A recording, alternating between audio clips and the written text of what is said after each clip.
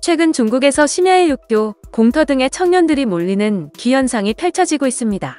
이들은 SNS에서 인기를 끌려는 스트리머들로 시청자의 시선을 끌기 위해 한겨울 밤에도 야외 방송을 고집하고 있는 것으로 전해졌습니다.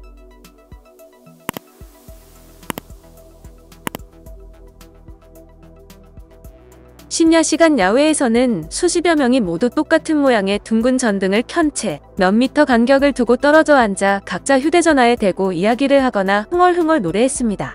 동영상 플랫폼 더우인에서 채널을 운영하고 있는 라이브 스트리머들은 기온이 0도 가까이 떨어진 추운 밤이라 두꺼운 이불을 뒤집어 쓴 이도 있었고 휴대용 히터를 들고 온 이들도 있었습니다. 외신에 따르면 중국 소셜미디어에서 실내 라이브 스트리밍 방송의 경쟁이 치열해지자 한밤중 야외라는 다른 무대를 통해 누리꾼들의 시선을 사로잡으려는 이들이 늘어나고 있다라고 전했습니다.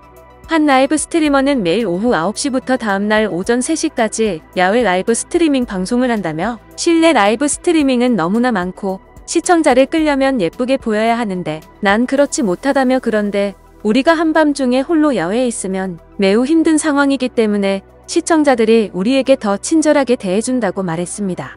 이어 새벽 2시 20분에 방송을 하던 중 한 시청자가 내 라이브를 보고 감동을 받아 3천 위안을 후원했다라며 그날은 일찍 귀가할 수 있었다라고 말했습니다.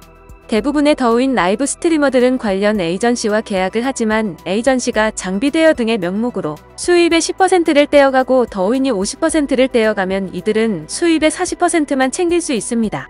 그런데도 이용자가 6억 명에 이르는 더우인 같은 라이브 스트리밍 앱은 중국에서 인기 돈벌이 수단입니다.